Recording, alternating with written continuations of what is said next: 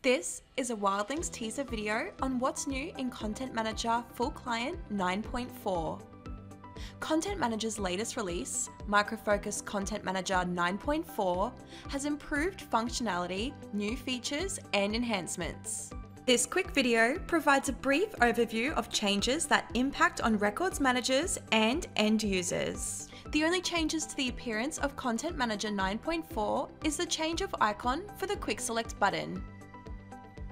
System options and option screens now display what were the tabs down the side of the screen, and a search field has been added to make it easier to locate items on the pages. The new dashboard window displays a user's predefined work item list with a breakdown of the items that are overdue and by how many days within a set time period, and a total number of items for each work item list. Users can double click on the displayed number under the time period column to quickly access the items associated with that work item in that time frame and Content Manager will open the items in a new search results window. From there, a user can update or action the items as required. This feature can be enabled or disabled via the User Dashboard option in the System Options Features page. The dashboard option is located on the home ribbon and can also be set as a startup window via a user's options. This can be enabled on the startup page on the file menu. The new Explorer window gives users a logical view of records grouped within Content Manager item types in a single window. This allows users to browse the main objects and display the records attached to that object.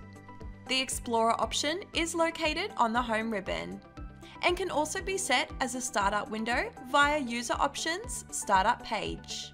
The items displayed can be customized by the user or set as a global setting by an administrator. Administrators have the option to create up to 10 custom user types, in addition to the six standard user types already available. This allows organisations to apply specific user permissions to a user type to better suit their business requirements. The custom user types are associated to locations in the same way the standard user types are used, via the Location Properties Profile tab. To create a custom user type, a base standard user type is selected and then the required permissions are enabled or disabled as required. This is done in the system options on the user type page. End users can send a record or multiple records that they may have created in error or are no longer required as a part of normal administration practices to the Content Manager recycle bin. From there, an administrator can review and either delete or restore the records. To enable this feature, the Record Recycle Bin feature must be enabled in the System Options Features page. Only users with the Recycle Records permission will be able to utilise this function. To use the Recycle Bin function, users select the records to be deleted. Right-click and select Send to, then Recycle Bin. As part of the process, the user must select a reason for recycling the records. There are currently five reasons, but an administrator can add additional reasons using the caption editor if required.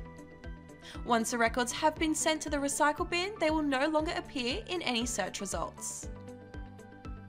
Records that have been recycled can be accessed via the Search tab, Records Recycle Bin option. Records that have been recycled cannot be modified. Records can only be removed from the recycle bin by the user who created the record or if a user has the required user permissions.